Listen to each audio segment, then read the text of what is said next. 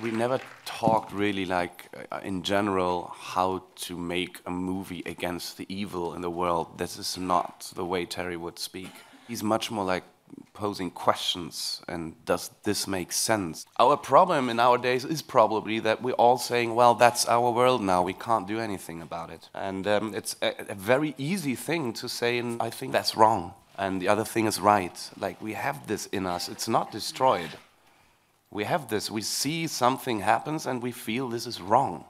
But nobody does anything. Movie beside anything other, it's not only political, it's like something very personal too. Um, but maybe in this way the movie can help or change people in this. Or when I watch the movie, I feel like, um, wow, I know this, we all know this. Why is it actually possible that everybody jumps on a train which goes in the wrong direction? Maybe